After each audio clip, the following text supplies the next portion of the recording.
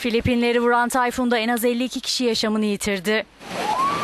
Ülkenin güneyinde etkili olan Bofa tayfun nedeniyle birçok kişiden de haber alınamıyor. Felakette onlarca kişi yaralandı. Filipinli yetkililer ölü sayısının artmasından endişe ediyor. Tayfun nedeniyle 155 binden fazla kişi riskli bölgelerden tahliye edildi.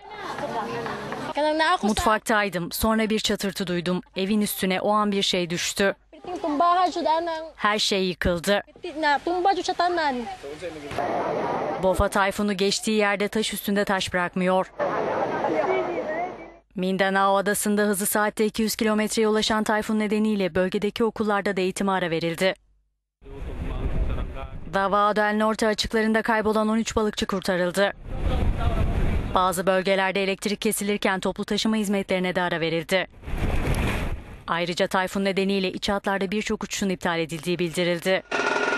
Filipinler Devlet Başkanı Benigno Aquino, tayfunun etkili olduğu bölgelerde güvenliğin sağlandığını ve vatandaşların uyarıları dikkate alması gerektiğini belirtti.